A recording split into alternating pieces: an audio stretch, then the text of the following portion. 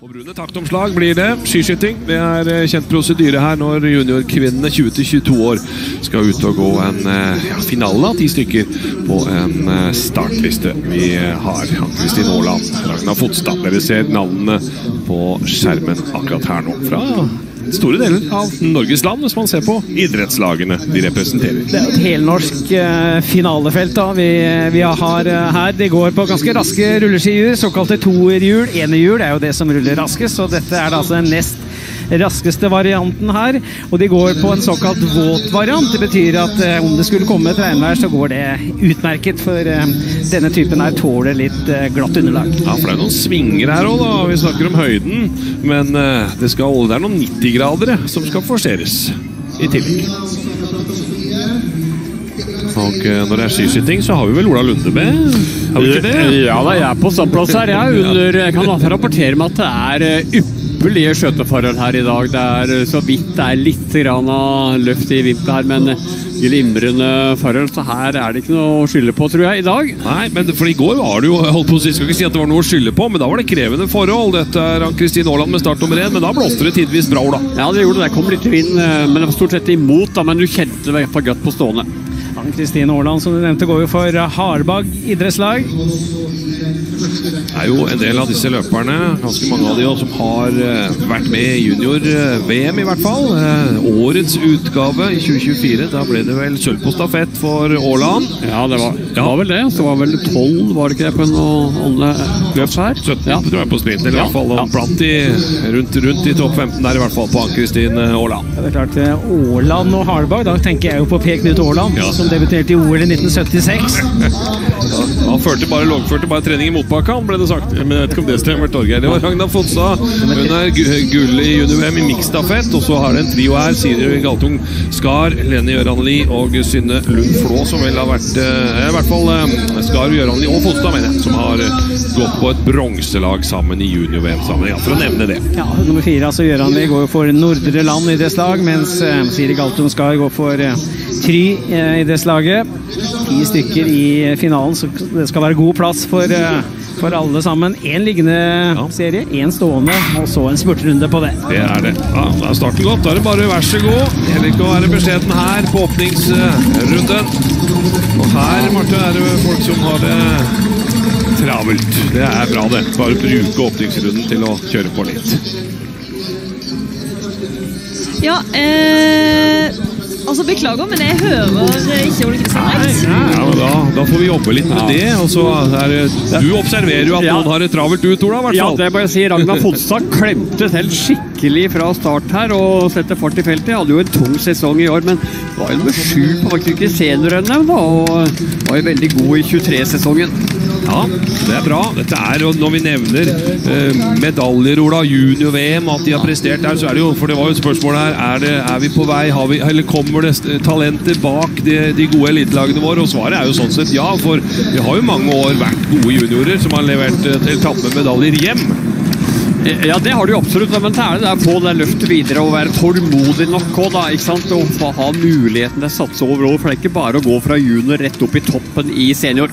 Men det er jo en ordentlig fart fra, fra start her. Gått i drøyt ett minutt, og det er jo ganske klar luke fra, fra de to i front. Så her har vi ikke hatt noe kontrollert eh, lureløp på første rund. Her, eh, her dras det ordentlig til. Ja, og Har man, man trua på ferdighetene i sporet, det bør jo Fotstad og Aaland ha, for de har fått luke her, så er det bare å bruke den kapasiteten nå. For det her begynner jo å bli en nesten For strafferunden er ikke så lang her. Det er ikke noe 150 meter eh, litt i utgangen av der du står, Ola. Så det er bare å det, De stjeler en runde her, faktisk. Ja, de gjør det. Og så er det disse er jo på det såkalte U23-laget, eller det fem sammenslåtte laget. Da. Så det er jo på papiret kanskje de to sterkeste vi ser i spiss her nå. Hva tenker du, Marte, er den største utfordringen for disse unge utøvere i en sånn sammenheng som det her? Ja, og jeg syns det er veldig smart av de nå, når de først har fått den luka, å bare kjøre på, ikke slippe de andre innpå seg. og og bare beholde det trøkket de har hele veien nå. Så blir det jo litt press da, når de skal inn på skytebanen og de står, eh, kommer til å ligge alene de to og skyte nå. Så kan være vi ser noen nerver eh, på skytebanen der. Jeg vet ikke hva du tenker, Ola? Jo, det er jo klart vi får vel sett noen som eh, er litt spent, men det er klart disse har jo vært i posisjon eh, på ski 1 og 2 tidligere, så jeg vil tro at de har litt erfaring, men det er jo alltid litt spesielt. Og det er første løpet i året, og ikke minst eh, gå her på, i, på blink, da.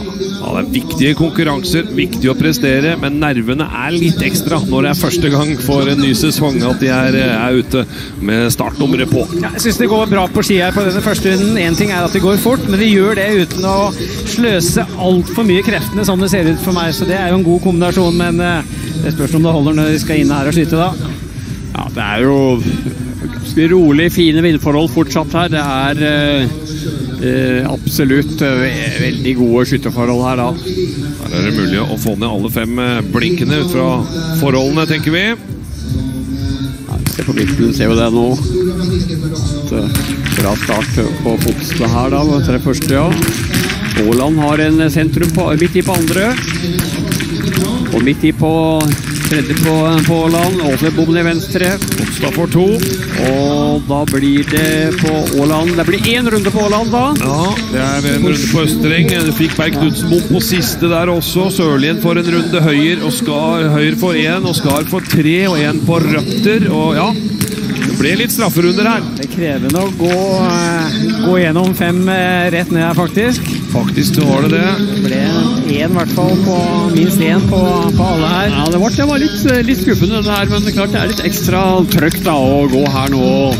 Jeg vet at det er TV-sending og alt mulig, så det er god, god erfaring. Ja, det er, Og det, og det er ganske tett, da. Det, ble, jo- det tetta seg litt Ja, etter skyting, faktisk. det er jo fint for oss som eh, liker spenningen. Når Aaland og Fotstad Eller Aaland er 2,2 foran eh, Eller Sørlien, så er det 1,9, så er det Fotstad 2 bak det. Men eh, topp fem på tre drøye sekunder. Og en firerbande som går sammen nå. Som tetta den luka umiddelbart der, så Ann-Kristin eh, Aaland har fortsatt da Ragna Fotstad nærmest seg. De var jo De dro jo mye av feltet på første runde her òg. De gjorde det. Vi satte litt premissene i sporet på åpningsrunden. Liten stilstudio her, da. Ann-Kristin Aaland. Du er ikke så lenge siden du var i aksjon, Marte. Er vi Ola og jeg og Torgeir så er vi strenge når vi syns at åh, en strafferunde er litt dumt? Jeg skjønner veldig godt hva dere mener, men eh, samtidig så er det noe Selv om løypa er ganske flat, så får du ganske høy puls. Og spenningsnivået liksom du kjenner, det husker jeg skjønner ikke, det dirrer i hele kroppen. Så det, at det er ikke noe lettere å skyte her enn når de går på vinteren. Så, så jeg syns én bom, det, det må man kanskje regne med i en sånn løype som det her. Ja. Du ser jo bare på eliteklassen hvor mye det bommes der, og de, de har jo i hvert fall trent sine år. Så det, det blir litt bom eh, på type Blikkfestivalen. Ja, det er ganske tungt faktisk å gå på rulleski i sånne flate løyper som det her. Det blir jo et mye mer muskulært trøkk enn det du har på vinteren, der du kan smyge deg litt fram på, på snøen. Så, og så er det gjerne at de kanskje ikke har så mange harde konkurranseøkter eh, hittil i, i forberedelsene heller, så det blir litt sånn brutalt å dunke til med et sånt renn. Absolutt, og jeg syns det blir vanskelig å regulere farta inn på standplass. For det er helt flat løype i det partiet de kommer nå. Det er bare en lang, lang slette. Og klare å få ned pulsen noe veldig på den sletta, det er ikke lett, altså. Ja, det er altså bare én én skyteserie igjen, da. Ja, det er det. det skal, eh, vi kan nok få spurtrunden til hjelp for å kåre vinneren her, men det skal få lov på å avgjøres sånn sett eh, skytemessig. Vi har fått fire. Aaland, Sørlien, Fonstad og Berg Knutsen er det vel som eh, er foran. Det var altså to inn til første skyting, Ja. så tetta det seg litt. Og der er disse fire har følt hverandre tett på, på andre runden. Det blir stående skytingen som legger mye av grunnlaget nå. Det gjør det. Ja, og Forholdene er jo fortsatt helt eh, perfekte her. Det er optimal optimale skjøteforhold. Fem rett ned her, da har man lagt et godt grunnlag, hvis en av de fire klarer det. Ja, Da tror jeg det er gode muligheter for å få en liten luke. Helt likt inne fire stykker. Dette er skiskyting på sitt eh, ypperste, det. De kjenner det, de kjenner det nå. Ja, Fotsa er jo på skive én her, da. Så kommer det inn flere her òg.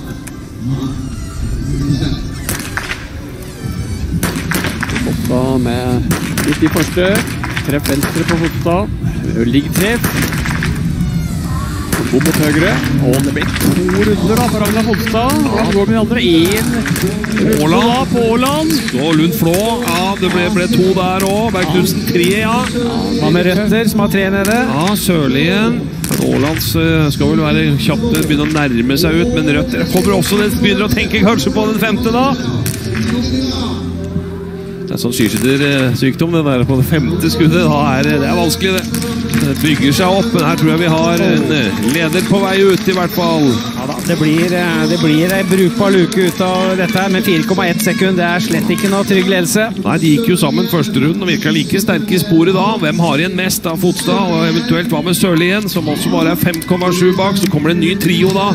Lund Flå og Røtter og Høyer. Og Fotstad og Sørling kan for så vidt jobbe litt sammen nå og tette denne luka til Aaland hvis de hvis begge vil det Ja, og er sterke nok til å gjøre det. de har lyst til på, da. Må være mindre nå. Dette er ikke fire og fem sekunder nå. Men det er fortsatt noen meter som hun kan forvalte, da. Ann-Kristin Aaland med start nummer én i teten. De, de gjør et ærlig forsøk nå, altså. Ja, de gjør det. Og her, dette er, eh, dette er sånn skiskyting skal være. Fire ganske synkront i drillen inn her. De vet de, vet de har konkurrenter ved siden av seg. Så går jo, de går nok greit på der, da, Ola, men eh, utover i serien så begynte bommene å komme. Ja, det gjorde det, da. Men eh, nå er det jo veldig spennende her da på denne siste runden her. Jeg må si det. Fortsatt noen meter. Det var altså 4,1 sekund, og det er snart på bakhjula nå. Ja, sånn Marte gikk i VM i 2016, ja, da var det liksom Det var bare noen sekunder hele siste runden, i hvert fall. kom ei fransk kvinne som gjerne ville hente Norge, men hun lyktes aldri med det, selvfølgelig. Nei, nå er de samla her, da, så det at nå får vi et spurtoppgjør. Nå skal du jo snart inn i siste, inn i siste sving og slette, så hvem er mest eh, god i spurt her, da? Ja, så er det litt sånn taktikk i det, for det gjelder nå å akselerere akkurat til rett tid, inn over brua og, og få fart inn på oppløpet. Det er like mye sånn taktisk greie, dette her. Ragnar Fotstad tar over ledelsen da. Østre Toten skilag er først inn på oppløpet. Men det er langt, så det er mulig å slå tilbake her. Men hun får faktisk en liten meter også til Aaland. Dette er vel da fjerdeplassen til Lund Flå. Er litt alene. Jeg syns Fotstad slo til, til rett tid her og får stor fart inn på oppløpet og øker jo egentlig i avslutningsfasen her. Her sitter dobbeltdansen bra. Ja, gjør det. Altså får vi bare, ja, Hun skal holde denne luka opp. altså Hun eh, kom godt ut av siste sving, hadde høyest fart inn på oppløpet. Så er det veldig jevnt om annenplassen, men eh, Ragna Fotstad skal eh, ta seieren her. De kommer vel kanskje litt nærmere, nærmere men Fotstad har vel kontroll på de siste meterne. Men to og tre da, er det målfoto som må fram her. Ja, det tror jeg nesten kan stå lik tid, men at Aaland var hun foran da. Vanskelig å se fra det bildet der, altså. Sørlien 3, da, så er det, er det hun Flå som gikk ut sammen med Røtter og Høyer, men har klart å få en liten luke og bli nummer fire. Så er det spurt om femteplassen. Det blir vel eh, kontroll på den, tror jeg, til Berg Knutsen foran Røtter og Høyer, da. Det var bra innhenting av Fotstad på, på siste runde. Jeg Stakk ut altså 4,1 sekund bak. Aaland jobbet seg tålmodig opp, og så slo hun til akkurat i riktig tid. Stor fart inn på den siste brua, stor fart ut av venstresvingen inn på oppløpet. og Jeg tror hun var egentlig best på selve oppløpet, så det var, eh, det var ikke så mye tvil om hvem som var best til slutt her. Men eh, fire strafferunder ble det på disse to skytingene. To til Aaland og to til eh, Sørlien. Høyre på syvende. Var vel skyttermessig best da, med sin ene runde totalt. Ja, Ragna Fotstad fra Østre Toten skilag. Det var litt av en siste runde. Ja, ja, det var hardt, men det var morsomt. Så jeg følte meg egentlig ganske pigg i dag. Så når jeg så at jeg var sånn tre-fire sekunder bak, så bare gikk jeg alt jeg hadde for å ta inn. Ja, Hva var taktikken ut på den siste runden der? Nei, det var som ellers i rennet å bare gå alt jeg har, egentlig. Så ja, det funka. Skytinga, da? Eh, jeg skjøt 2-2, så det er jo dårlig. Men eh, prøvde å være ganske effektiv og kanskje jeg tjente inn en runde eller to på det. Men eh, ja, 2-2 er jo egentlig ikke bra nok, men det var det i dag, så ja. Hvordan er det å være med her for dere yngre løperne sammen med senioreliten og verdenseliten? Eh, det er veldig gøy, men eh, i går også, gikk vi jo mot senior, og da bomma jeg en del av, og da havner du langt bak med en gang. Så nei, det er morsomt å se hvor høyt nivå de har, og ja, man blir jo inspirert. Så Er det sånn at du kommer til å bruke litt tid på skyting framover eh, mot vinteren, eller? ja, ser sånn ut, så jeg må vel bare gjøre det. Reis hjem til Toten og tren. Ja, det skal jeg gjøre. Ja, Toten er vel det fine anlegget oppi Det er som Karidalen, så ikke jeg roter ja. meg bort geografisk her. Det er nydelig anlegg. Her går det an å gjøre mange gode treningsøkter, ja. Helt klart. Dette er lista vår, da, i hvert fall etter eh, juniorenes eh, kvinnefinale her. Ragna Fotstad, Kristin Aaland, Lisa Eileen Ferguson, Sørlien. Det ble vår eh, pall.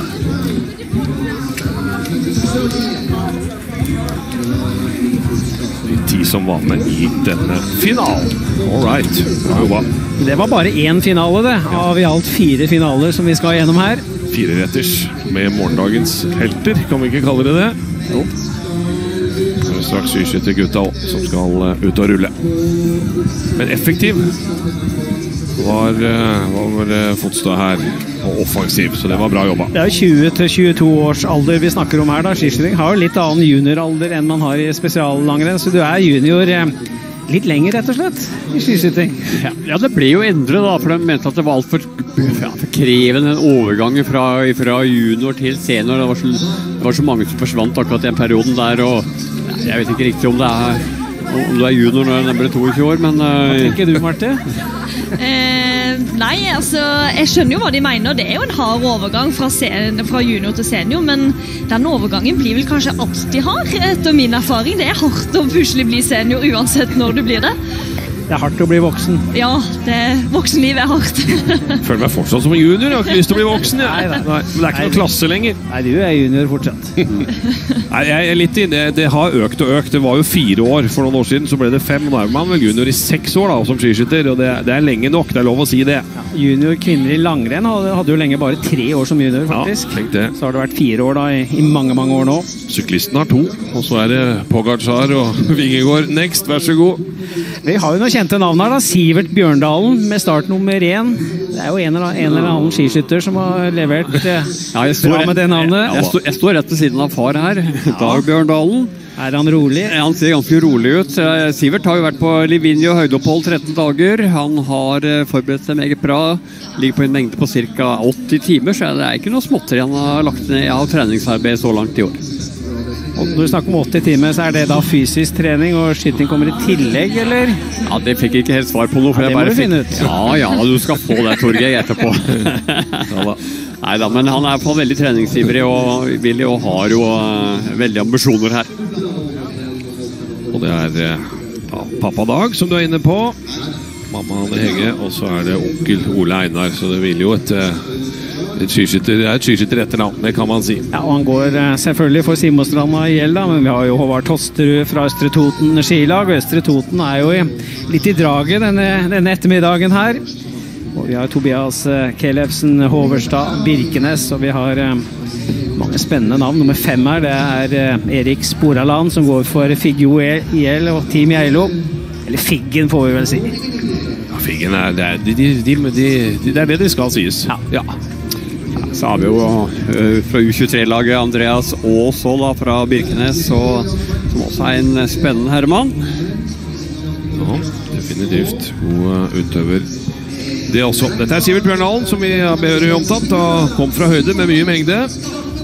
Da skal han være klar til denne viktige sommerkonkurransen. Dette er Håvard Tosterud. Får vi se om Østre Toten skilag er best igjen. Han er i hvert fall best i, i kvinneklassen. Ja, Tobias eh, Hoverstad da, fra Birkenes idrettslag. Vi har et par eh, finalister her, så det er sterkt. eh, Fortsatt en sterk skiskytterklubb, det. Dette er Oslo skiskytterlag og Jakob Valenius. Ja, Et åpent uh, finaleheat her, eh, selvfølgelig. Stig Tyvold er det, fra Byåsen skiskytterlag. Ja, Vi må ha noen trøndere her òg. Ja, så vi har noen fine fornavn. Kvanli her, altså, fra Målselv skiskyttere.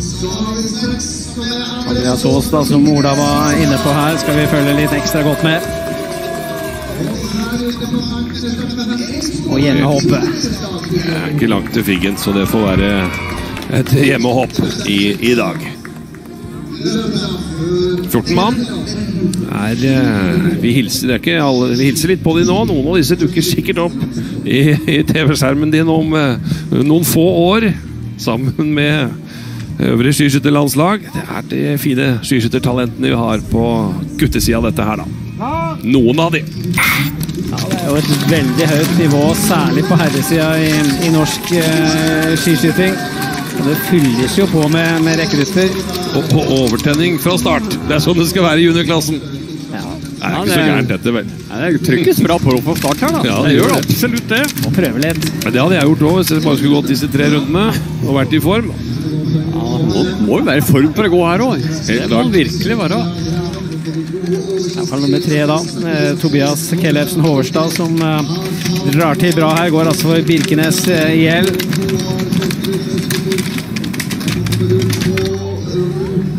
Det ser litt krevende ut å forsere de her bruene, egentlig. Du har jo gått der, gått der bruene i, i ordentlig konkurransesammenheng. Ja, de er litt utfordrende, for det må bli litt sånn varierende i teknikk. Og så er de såpass bratte at eh, skal man eh, tose på med litt eh, rask dobbeltdans, eller skal man slå over i padling, er jo ofte det man står mellom. Så kan bli litt sånn knotete i eh, teknikkovergangene der. Så være plassert langt framme i feltet. To-tre beste, så slipper man kanskje de største problemene hvis det skulle stoppe opp litt der. Absolutt. Vi så en del stavbrekk i går, så det er jo det man vil unngå. I hvert fall når man bare går tre runder, så taper man mye på å knekke en stav eller få noe trøbbel midt i feltet her nå. Fortsatt ganske samla felt, men det er jo litt forskjellig hvor mye krefter det har kostet for de enkelte.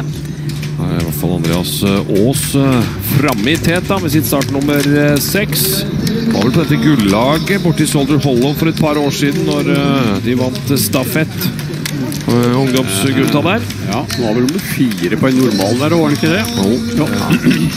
Det er ordentlig dobbeltdans over, eh, over den, den brua der. Ja, det er gode resultater for flere av disse talentene. Vært å, å prøve seg. Sivert Bjørndalen var vel også med i Soldier Hollow. Litt spesielt å tråkke i onkels fotspor da, for Da ble det stålbrekk. Ja. Ja, Man får ikke noe stav heller. Helt inne ved lista. Ja, da må noen eh, rykke ut til eh, skyting her etter hvert, i hvert fall. Da må han beholde roen, da. Det er vel Sivert, er det det? Ja, det ser Ja. sånn ut. Da får du si ifra til Dag, da. Ja. Sivert Bjørndalen med én stav. Ja. Da sklir han jo helt bak i dette feltet. Nå er det vel mulig å få lagt den inn på, på skytebanen etter hvert da, til eh, Sivert. Men har gått hele oppløpet med, oppløpet med den ene staven og skal jo opp på skive én, vel, med dette startnummeret. ja han eh, er jo på tur inn her akkurat nå, da. Ja, bare beholde roen eh, nå. Men det er ganske stor fart utover på runden her. Ja, Tapte en del plasser og tid på det der, altså. De andre er i stilling når Sivert sistemann ned på den første skytingen.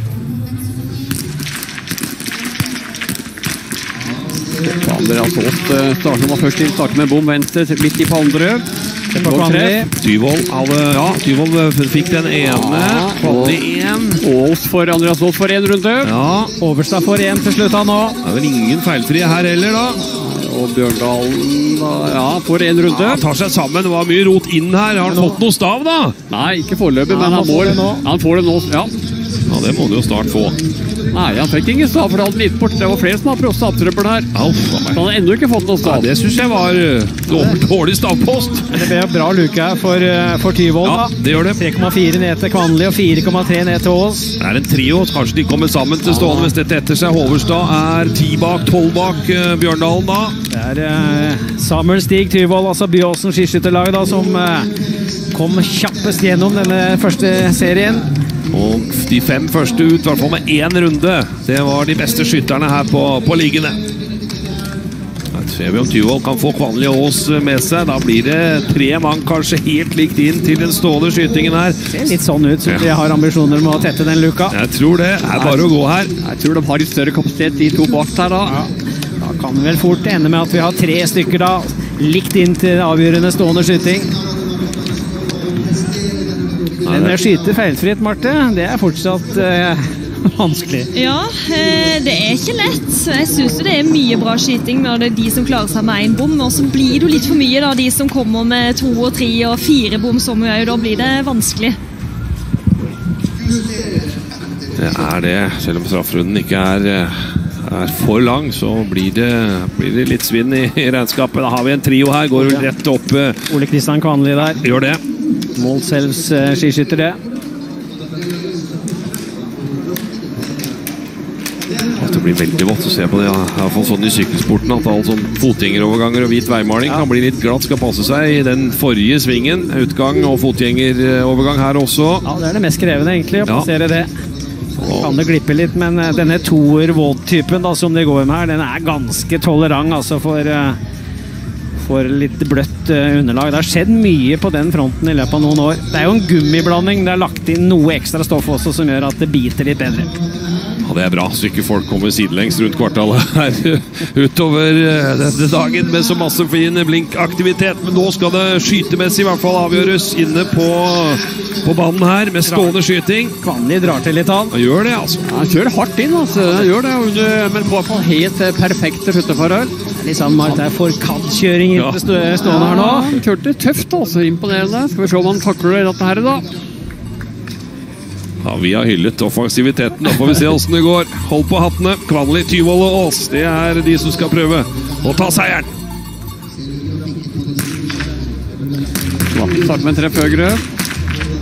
Så får vi en bom, og ja, to, to treff opp venstre og en eh, bom venstre. To runder. Veldig kjapp serie, da. Ja, det kan gi Det gir jo to runder Tyvold, to runder Aas. Det er status quo her mellom de tre i tet. han starter med bom, han òg. Ja, Ja, det bommes jevnt der, ja. Det ikke noe sånn eh, ingen som kjempeskjøting her. En runde gått av uh, ja, Kvanli her. Ha igjen igjen. Ja, fullt hus, ja. Kvanli, ja. Kvanli her på vei ut av strafferunden. Skal lede. Skal lede, ser vi her. Han har den. Men Pedersen kan ikke være så langt eh, bak her. Hvis det der var riktig, nå var det Ja, Kvanli 6.33,4. han får ei luke. Ja, og den er over fire sekunder. Det var 4,1 som eh, var i kvinneklassen ut på siste runden, og nå er det litt mer. Sivert Bjørndalen har fått eh, ekstra stav etter hvert, Ja. så han er i posisjon til å slåss om seieren, han òg. Og, seks sekunder er vel Alle de fire kan eh, snappe seieren her hvis de har en god siste runde på laget, men Kvanli var i hvert fall pigg på mellomrunden. Ja, her har vi han Ole Kristian Kvanli, Målselv skiskytter, dro opp farten inn til stående skyting. To bom, men eh, de verste konkurrentene fikk jo to bom, de òg. Ja, så skjøt jo veldig raskt. Altså. Han tok faktisk noen sekunder på standplass der òg. Og han har ei god luke. Fem og et halvt sekund. Han har kontroll på det her. Jeg håper alt var riktig, Ola, for det står seks runder på Sivert Bjørndalen. Han hadde jo én på første, han bomma vel ikke alle fem på andre og gikk rett ut. For helt ærlig, nå følger jeg ikke helt med på Nei, det går bra. akkurat nå. Får, vi stoler på Sivert og alle de som går her. Kvanli han har fart, Torgeir, på denne siste runden. Ja, Går med ganske store bevegelser her også, skaper bra kraft og gjør det vanskelig for de andre å, å nærme seg. Nå prøver jo Andreas Aas her, selvfølgelig. Og henger på Sivert Bjørndalen. Det er de to som er eh, nærmest Kvanli akkurat nå. Ja, kan smile litt nå. Aha, det er, er det seierssmilet. Det er litt igjen her. Det drar seg til spurt, tenker jeg, mellom, eh, mellom Bjørndalen og Aas her. I kamp om andre. Men det er for langt fram, altså. Det er nok det. Kvanli går så fint. Bra frekvens og bra trykk i det. Den siste brua også. Så er det Ja, det er vel en til her. Nei, det er oppløpet her, ja. Det var helt riktig. Rett foran hotellet. Rundt venstre. Det lange, fine blinkoppløpet igjen da for Ole Kristian eh, Kvanli. Men dette har uh, Målses skiskytteres eminente utøver kontroll på nå. Hadde fem og et halvt sekund da på, som luke ut på siste runden og har jo egentlig bare økt den en periode. Nå kommer de nok litt tettere på på oppløpet. Ja, de gjør det, men det er noen, eh, er noen meter bak der. Men det spurtes veldig hardt om den annenplassen. Er det Aas som er på vei opp på den, tror jeg, foran Sivert Bjørndal. Men Ole Kristian Kvanli, han kan, eh, han kan ta stavene, han kan juble på nydelig vis og bukker inn til seier i Blinkfestivalen foran Andreas Aas og Sivert Bjørndalen. Var det Husnes da, på en eh, fjerdeplass. Ja, Kvanli han satte opp ordentlig fart altså inn til siste skyting. Der fikk jeg luke. Pådro seg to bom, men eh, heldigvis for hans del, det gjorde de verste konkurrentene. Så da hadde han vel rimelig bra kontroll på denne, på denne siste runden. Han leverte jo også en veldig god siste runde. vil jeg si. Det var bra. Han gikk mot tøffe, gode løpere med, med Aas og Bjørndalen, så viser solid form her. Det er bra. Og, det, og brukte jo krefter underveis også, så det var en veldig, veldig fin gjennomført konkurranse. Men eh, ja, tre bommer i hvert fall da på, på Kvanli. Ja, Ole Kristian. eh, Du tok en sjanse på siste stående der. Ja, jeg tok, jeg tok en jævlig stor sjanse. Jeg bare skjønte ikke hvem som var rundt meg, så skjønte jeg her har jeg en sjanse hvis jeg har noen bom.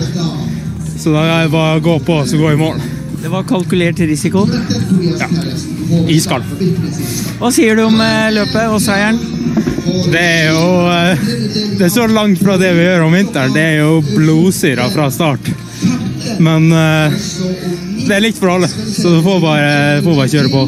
Var det morsomt, eller? Det, her, det er sånn som idretten er. Det, det her var gøy.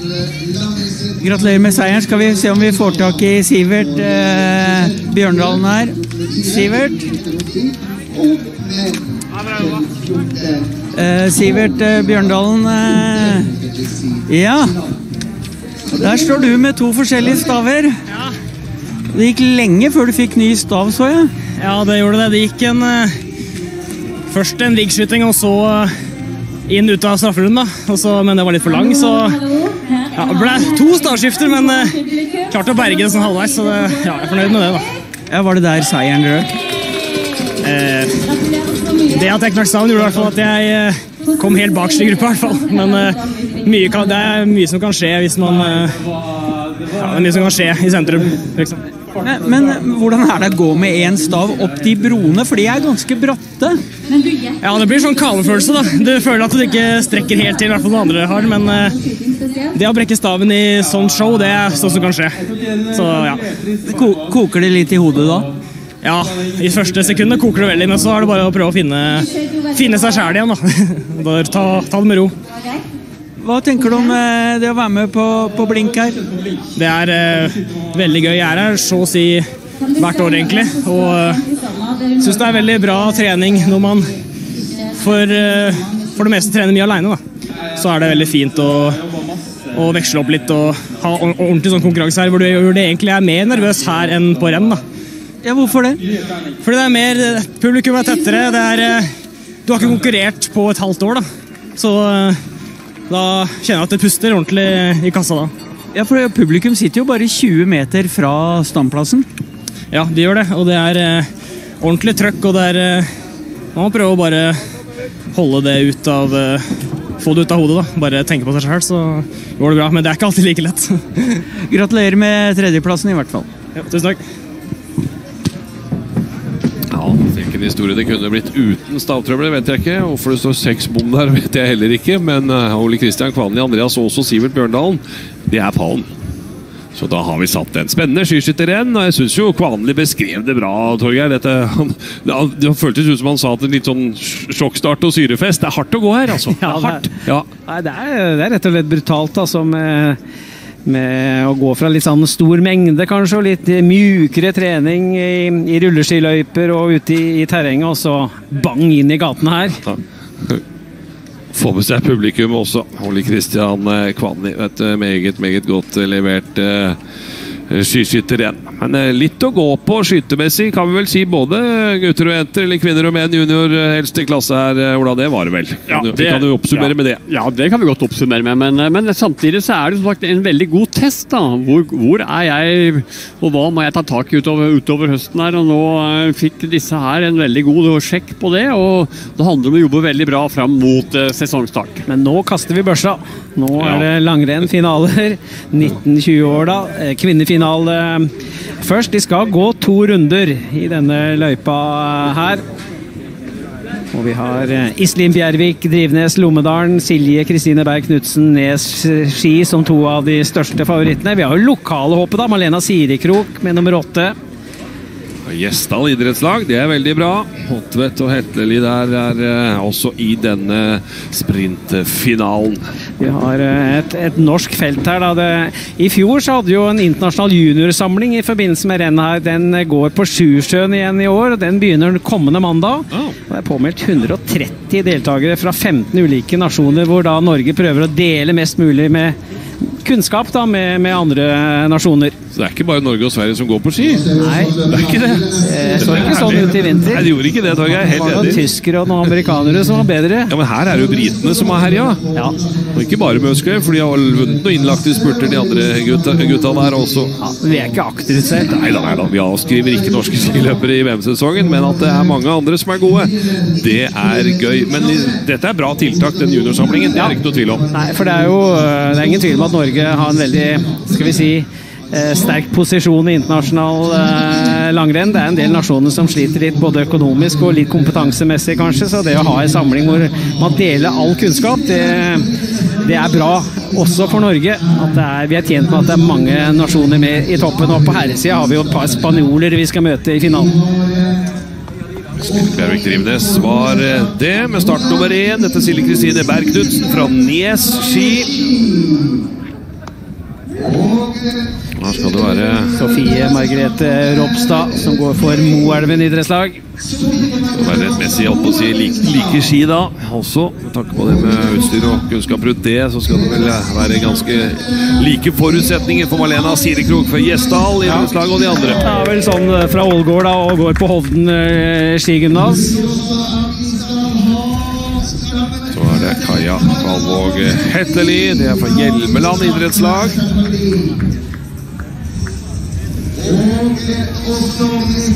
Sofie Gjennum Potvedt. Og her har de ikke noe skyting som kan endre, endre underveis, så det blir absolutt en sånn taktisk vurdering eh, her hvordan de skal legge opp. Vi hadde jo noen løp her i går. Ja. Noen prøvde å dra i front lenge, og det å gå ifra få luker, det, det er krevende. Det er krevende, men Fossesholm gjorde, var veldig bra og nære på å ta seieren der. Så kan være de fikk litt inspirasjon av det, og vi kommer til å se noen som kommer til å prøve å kjøre samme taktikk nå. Ja. Hadde en uh, ni runder i tet og allikevel annenplass i spurten. Jeg er fortsatt å si, imponert over er. Fossesholm i går. Det, det var sterkt, det.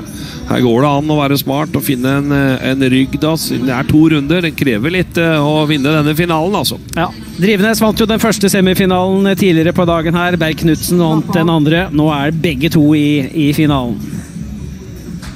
Selvfølgelig. Start nummer én og start nummer ni.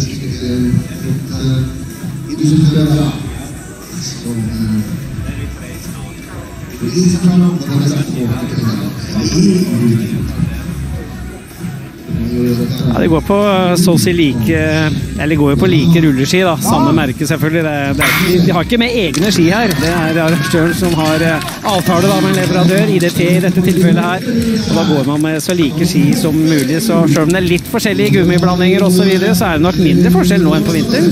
Absolutt. Når jeg får eh, her er det jo, skal det være lik motstand. Det eneste er at det kan bli slitt litt forskjellig på hjula, da, som gjør at det kan være litt vanskelig å finne balansen av og til. Men eh, det var som vi var inne på i stad, gummien er såpass sterk at det skal mye til for at det skal bli for vanskelig. Hva syns du er største forskjellen mellom det å gå på vanlig snø og vinterstid mot eh, rulleski i gatene her? Nei, Det kreves jo utrolig mye mer kraft i, i skiva når du går på rulleski i forhold til ski. Altså, det ruller bedre jo mer kraft du setter i, og det er det ikke alltid det gjør på ski. Så det er vel kanskje den aller største forskjellen. Du er jo en, en av de som fløy lettest på snøen da, Martin. Eh, Ja, eh, det tok litt tid før jeg ble eh, venn med rulleskia, for å si det sånn. Ja, rolig nå. Det er ikke noe, noe stort tempo å snakke om her. Nei, Jeg tror de, Dette er jo i en sprintfinale som må vel da de fleste kanskje stole på spurten sin, da. Det er ikke noe Fossestål-taktikk her. Nei, det var ikke det. Ropstad nummer tre, i hvert fall oppe i teten. Drivenes der nummer én, er med i annen posisjon. Og så er det jo sprint, da. Vi skal ikke glemme det. I går var det jo fellesstart, så det er én variant hvor du kan drive på over mange, mange runder. Her er det jo bare to runder til disposisjon. De fleste har vel nok med å mobilisere til ett sånn kraftanstrengelse, en rykk, og det bør jo være ganske nær mål. Ja, og feltet er jo ganske lite i forhold til eh, det det var i kvinnefinalen i, i går. Så det at å ligge baki der er ikke så stor risiko hvis det hadde vært flere løpere. Ja, det er et viktig moment. Ja, du kommer fram også. Du finner, du finner luke hvis du trenger det her. Ja, du kan ligge Oi. på halen her. Men ble det litt trøbbel der, eller gikk det fint? Nei, så ut som det gikk greit. Ja, da har de kommet seg velberget eh, der, men det er en, eh, en rolig De har en oppvarmingsrunde nå. Ja, faktisk. Det er sprintere, da. Det er lov å bruke taktikk, bruke huet. Gå, eh, prøv å få rennet på sine premisser, da. Det er, er vel stikkordet her. Det er jo fartsgrense på 30 her. Ja. Jeg vet ikke om det er maks eller minimum, men Ja, det, ja, det, nå er det min. Det må bli maks etterpå, vel. Eller over det, mener jeg. Over det etterpå. Det går fort på i spurten her, altså. det kommer jo til å smelle ordentlig på, på siste runde her. Det er jo bare helt rolige det både Sofie Margrethe Ropstad og de andre holder på med her. Ja, De skjønner jo, de er så jevne, de er så gode alle sammen, at hvis du tauer for hardt, så blir du litt sånn opptrekkeren til de andre. Kanskje, da. Kanskje. Så det taktiske har vært eh, i hvert fall det som har gjeldt på første runden, kan vi si. Men sånn kan det være vinterstid òg. Ja, ja. Det er mange varianter gjennom sprinttid. Noen ganger prøver man å gå veldig tøft fra, fra start. Andre ganger er det mer lureløp, da, som vi har denne ettermiddagen i Sandnes. Da Ropstad og Berg Knutsen i hvert fall i teten her. Det virker som de ligger litt sånn og lurer på hverandre nå. Venter til den ene skal rykke. Alle eh, ligger litt på vent her nå, ser det ut som.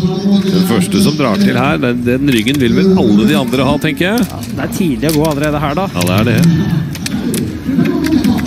Da kan man jo bruke overraskelsesmomentet. Stikke allerede. Oi! Oh, det var et litt uh, mageplask der, tror jeg. Fort gjort også når man går tett, da, men er oppe igjen ganske fort. Uh, Berg Knutsen. Ja, hun som vant altså det andre semifinaleheatet. Ja, det tapte jo en god del på det her. Ja, men kommer hun opp igjen da? Det virker jo som, Nå må hun ta i, selvfølgelig, men de andre har heller ikke begynt kjøret enda. Bruker jo litt av spurten sin eh, nå. Unngår å gå helt ned, men eh, det er ikke mye hjelp i den venstre staven. Nei, det var det jeg lurte på om det Piggen der tror jeg ikke var så mye hjelp å få av. Nei, prøver vel å bytte stav her også. Nå her var alt trøbbel på én gang.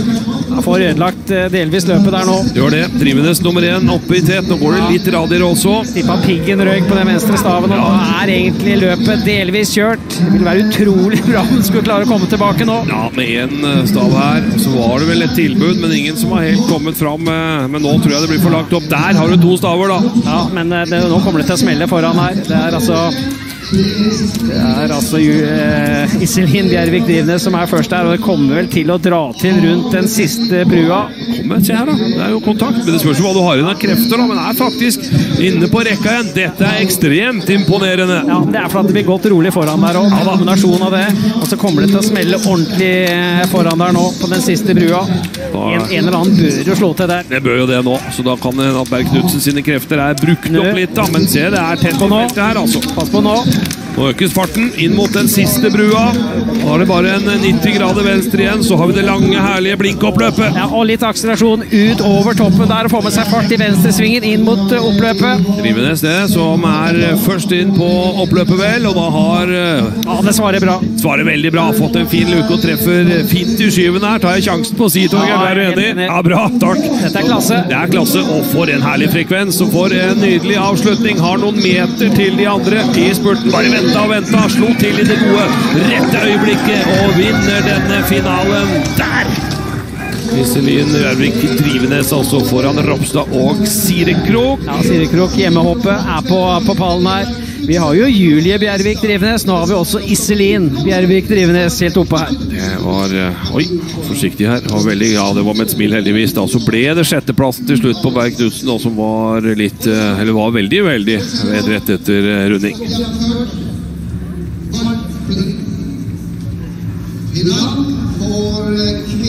20 Ja, det er jo en eh, stor, stor luke på, på slutten. Traff bra, både taktisk og teknisk, egentlig, den siste eh, delen her.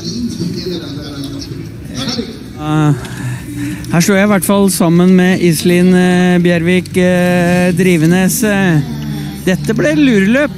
Ja, jeg syns det gikk litt sakte. Ut på andre runden så prøvde jeg å gå foran og få opp farten litt.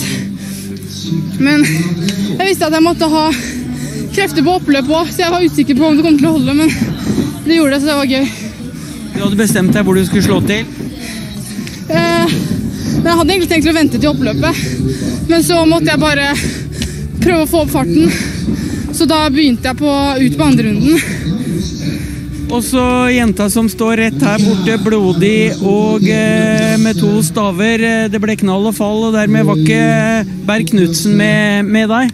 Hva sa du? Nei, og Berg Knutsen som vant den andre semifinalen, eh, hun eh, falt og, og brakk staven og, og har slått seg. Ja, det var jo veldig synd. Ja, hva skjedde? Eh, nei, jeg tror rett og slett at jeg bare eh, kom borti noen, eller at jeg satt satte staven foran. Jeg vet ikke. Det var eh, litt eh, stress i hodet, kanskje, bare. Du har slått deg, ser jeg. Ganske blodig her. Hva skjer der? Eh, nei, det vet jeg ikke. Jeg får sjekke det opp etterpå, etter jeg får satt meg ned litt, bare, tenker jeg. Får slappet av litt. Du fikk ikke en stav i hånda, eller? Eh, jeg, jeg vet ikke. Jeg har ikke helt eh, kontroll på hva som har skjedd, jeg. Var det bittert? Litt. Jeg følte meg bra, men jeg har fått gått mye andre konkurranser her eh, i løpet av helgen og skal gå igjen etterpå i skiskyting. Så det blir morsomt. Ja, Du kjører en kombo? Det gjør jeg. Jeg tenker at eh, litt langrennsfint. Har eh, aldri skada noen før. Nei, selv om du er litt skada. ja, det er morsomt å konkurrere her på blink uansett. Ja, tusen takk. Ja, det var en smell, det der eh, stupet der. altså. Det var vel eh, en stavpigg som gikk på venstre, og det var nok den som var på innsida av skia som gjorde det, det fallet. Eh, Og så er det så typisk at man går på adrenalinet, og så er det kanskje det, det så litt Kjenner det nok litt etterpå. Ja, gjør det, altså. Og så har vi en herrefinale. Der er det ikke helnorsk. Vi har to sterke spanjoler.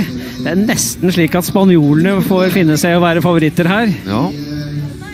Peyo Amarbe Siguen, som er basker, og Yamarc Colel Pantabre, som er katalansk. Det er ikke hver langrennssending du sier at spanjolene må finne seg å være favoritter her. Jeg bare, jeg bare kjente litt på den eh, setningen i det Jeg tror Elling Broberg vil eh, tenke annerledes ja, rundt det. Si.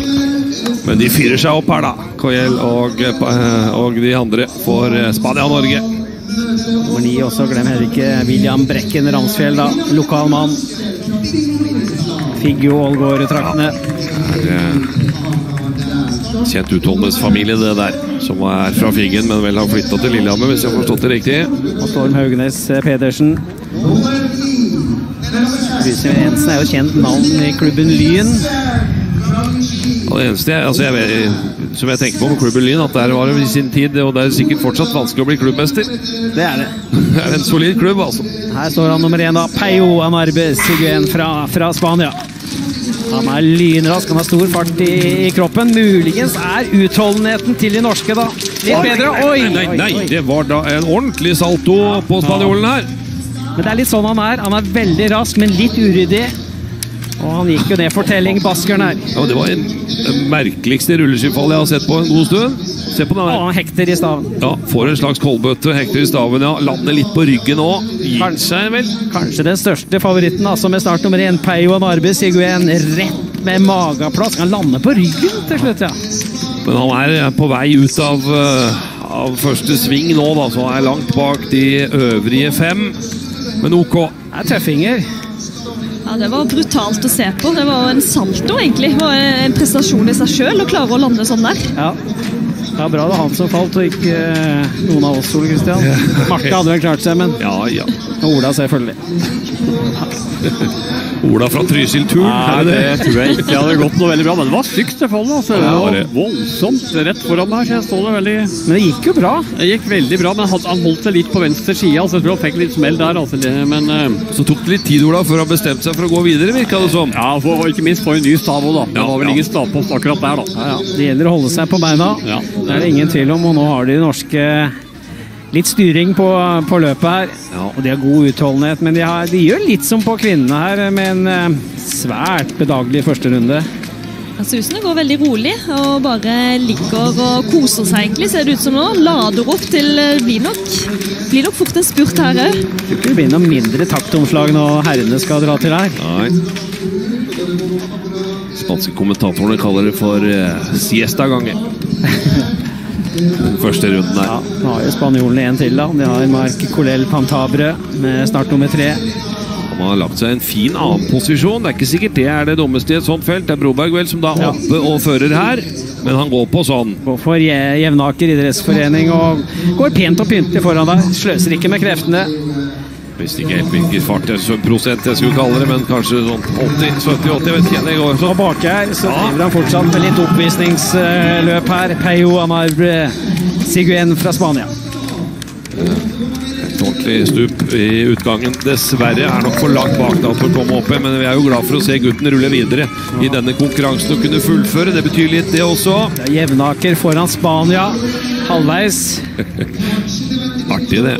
Og vi vet at Andorra begynner å bli farlig god, eller har vært en stund i langrenn nå. da. Så, Definitivt. så var det en spanjol som var førstemann under, fem, eh, under to timer på femmila i sin tid, var det ikke det? da?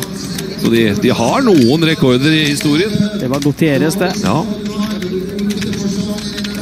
Nei, Del Rio fra Norra ah, gjorde det veldig bra, ble juniorverdensmester sist eh, vinter. Så det er ikke sånn at Norge og Sverige herjer i, i junior-VM, sjøl om de selvfølgelig klarer seg veldig godt. da. Men skal vi da ta en spansk, spansken her, holdt jeg på å si? Skal han eh, settes på plass av de norske juniortalentene nå, da? Vi får se. Ligger i fin annen posisjon, i hvert fall Pantabre der. Elling Broberg eh, for Jevnaker, da, med nummer ti på, på brystet her. Styrer løpet slik han vil. Har gjort det hele veien og har vel kanskje bare gradvis økt farta lite grann, så han har helt sikkert et sted han har tenkt han skal slå til, tenker jeg nå. Ja da, det ser fint ut. Syns han går fint på skia. Ja, jeg treffer veldig bra i skiva. og Det er kraftfullt når de går. De liksom står bra oppå, oppå rulleskia. Øker farten bitte litt bortover flata her. En sånn gradvis overgang til en akselerasjon over brua, kanskje. Men husk at mann nummer to, spanjolen, er rask. Han er rask, og han er rett bak eh, Broberg, som har økt farten betraktelig nå over den siste brua. Da er det svingen inn på det lange oppløpet, men spanjolen altså ligger rett på baksida der. Hvem er raskest på blinkoppløpet? Er det, det, er litt sånn, det blir en norsk-spansk duell. Å, den der da, Broberg! Det er ikke over, dette her. Nei, men han måtte bytte side, bytte linje. Pantabre i spurten. Begynner, han kommer nærmere og nærmere. Det er fortsatt en del meter igjen. Det kan gå mot spansk seier, men det er helt jevnt. Målfoto, kanskje. Nei da, han slår tilbake. Han gjør Det det. Jevnaker. Gjør det. Foran Spania. Men det var bare så vidt, altså. Men med én stav på spanjolene. Ja, han, er har bare, han har bare én stav, altså. Han har det. Passer meg nå. Og gikk jo sånn eh, skytteltrafikk inne på oppløpet her. Han er så rask, spanjolen.